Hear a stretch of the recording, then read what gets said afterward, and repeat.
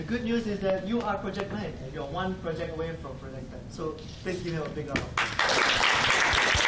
However, the bad news is that I just finished my persuasion test this morning, so I shall evaluate your persuasion skills with what I've learned so far. So I shall start with the good points that you've done, the good things, the well done things that you have done.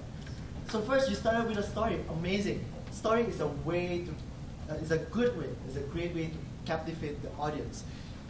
You have made us immerse into your storytelling person by saying your experience after you joined Toastmaster. I mean, if you are looking for a person to tell a story about Toastmaster, it should be you. You're the ex-president, and then you actually completed Project 9, and you are still here. So you are qualified to tell the story.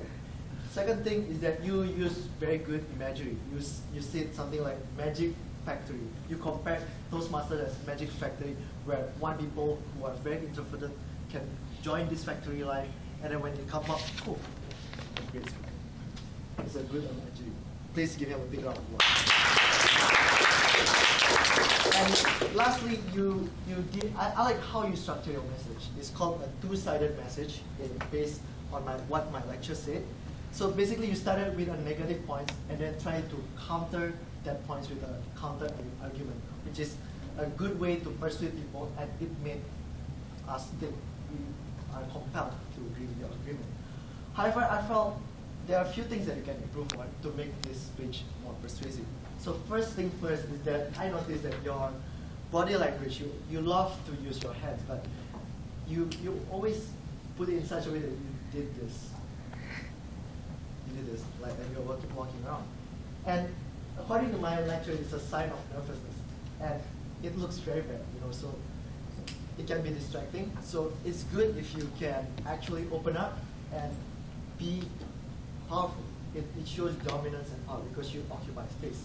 So that's a good point to take note there.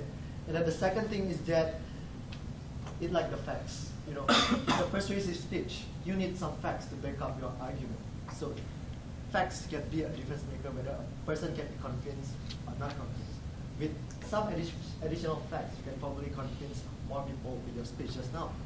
And lastly, I felt that your message, you know, the counter argument that you said about having, you know, being able to speak some prep to the audience, I don't think that's a good counter argument to actually say, you know. Yeah, I mean, it doesn't really counter the, the first argu argument that you made about how you, uh, how not very relevant Toastmaster is in the workplace. So therefore, with all these points to consider, I hope I could listen to your next speech. Please give a big round applause.